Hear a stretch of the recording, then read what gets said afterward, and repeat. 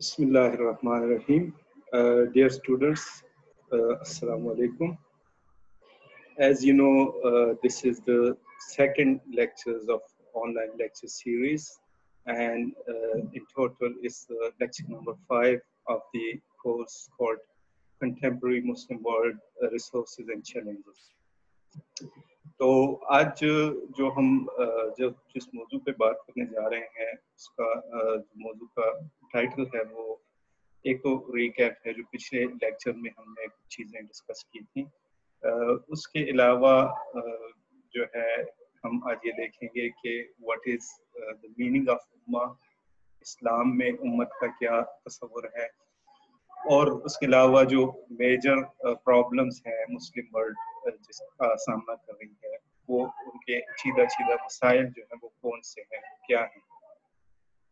तो इब्तदा हम करते हैं पिछले जो लेक्चर्स जो हमने कुछ क्लासरूम में और एक लेक्चर जो ऑनलाइन रिकॉर्ड किया था उस मुताबिक हमने चंद चीज़ें डिस्कस की थी जिसमें सबसे पहला जो कॉन्सेप्ट है वो आ, हमारे इस लेक्चर्स की जो सीरीज़ है उसके मौजू को समझने के लिए इस कोर्स को समझने के लिए जो सबसे बुनियादी चीज़ हमने समझनी है वो तो उम्मत का जो तस्वर है वो क्या है? और इस्लाम के अंदर उम्मत की अहमियत क्या है?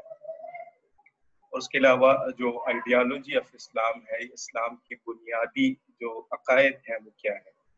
तो तफसीलन तो हमने पिछले लेक्चर में बात की थी, लेकिन सरसरी तौर पे मैं उसको दोबारा आपके सामने दोहराना चाहूँगा। तो सबसे पहले तो जो उम्मत के मीनिंग्स हैं अकॉर्डिंग टू मारिफुल कुरान उम्मत का जो मतलब है बेसिकली ये एक लफ्ज उम से जो है ना उम की जमा है, जिसका मतलब है ग्रुप ऑफ़ पीपल या एक लोगों का, लोगों की एक जमात।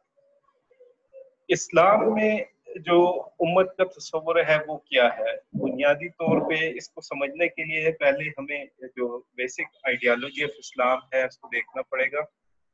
तो इस्लाम की जो आइडियालॉजी है, वो हमें जो नट शेल में मिलती है, वो ईमान मुफसल जो हमारे पास मौजूद है, उसके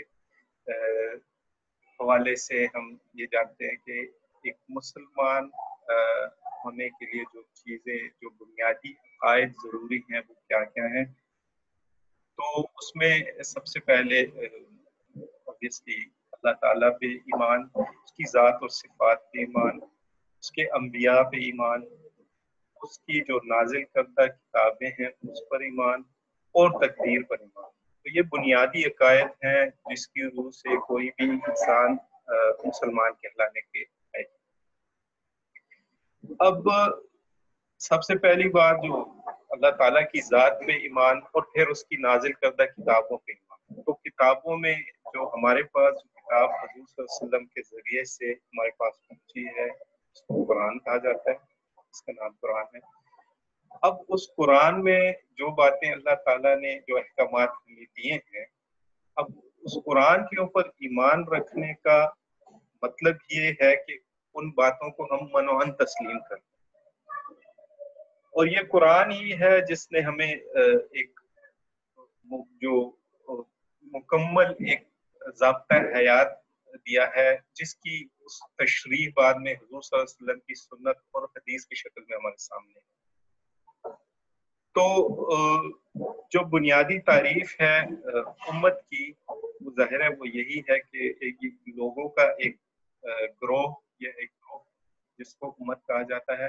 इस्लाम की रूह से उम्मत से मुराद, उम्मत मुस्लिमा है और उम्मत मुस्लिमा से मुराद तमाम वो लोग हैं जो इस्लाम के इन बुनियादी अकायद के ऊपर अमल पैरा हैं, जो इसके ऊपर यकीन रखते हैं। अब जो दूसरी बात है, इससे अगला जो स्टेप है, अगर हम देखें तो ये है कि इस्लाम में आपको उम्मत का तस्वर मिलता है, मुल्क का तस्वर इस्लाम में नहीं है। इस्लाम में तमाम मुसलमान बगैर किसी तफरीक के रंग और नस्ल कौम और किसी भी किस्म की और तफरीक के, वो सारे के सारे जो हैं मुसलमान के रहते हैं और एक उम्मत का हिस्सा है।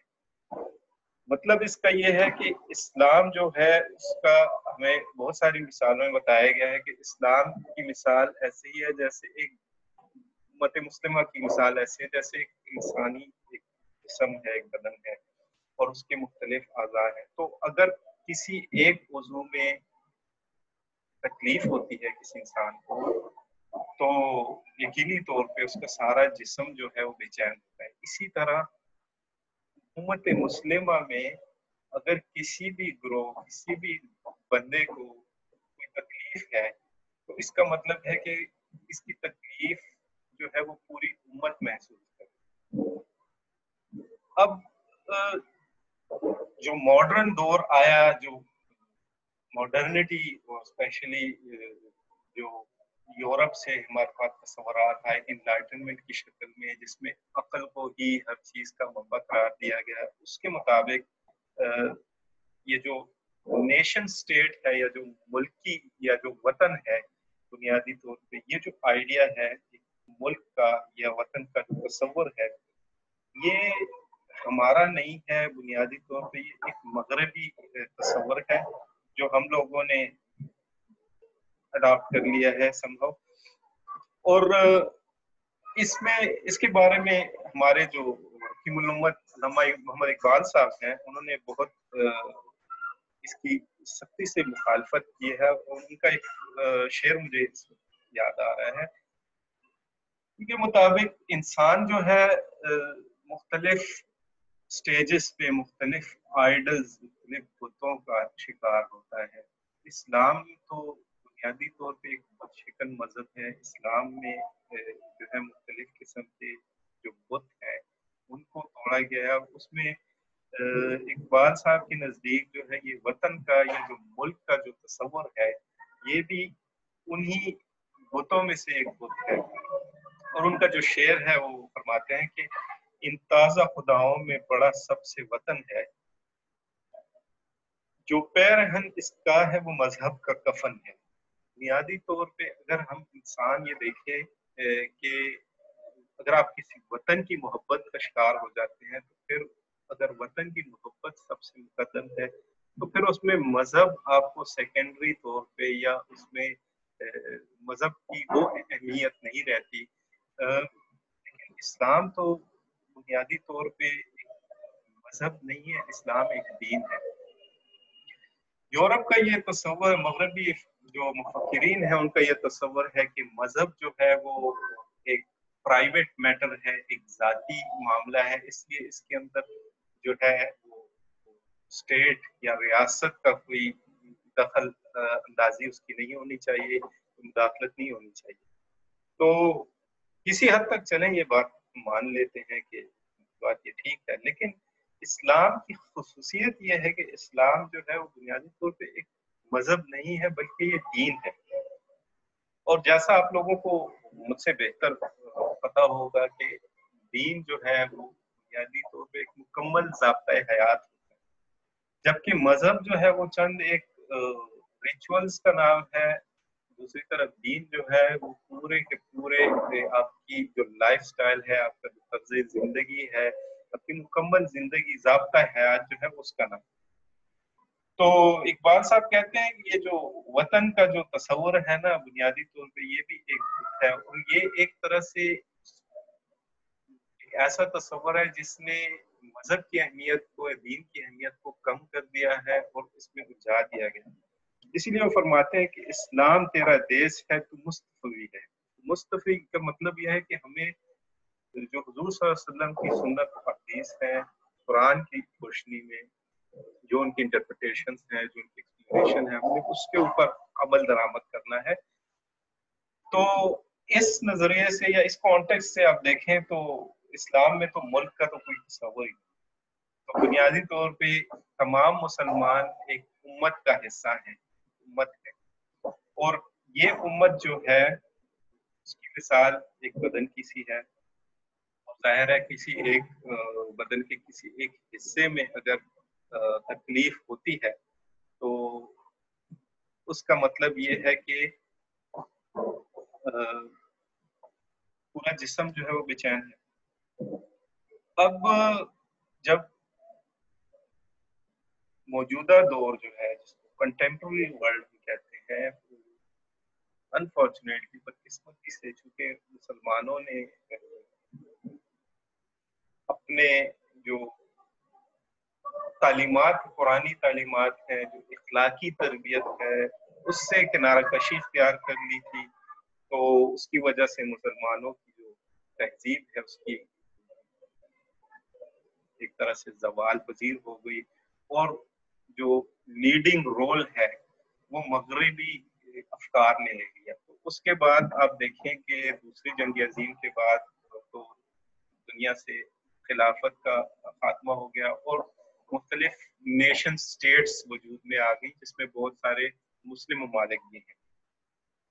तो सबसे पहली कदम तो इस्लामिक जो आइडियालॉजी है मुस्लिम का तस्वर है, उसके ऊपर लगी।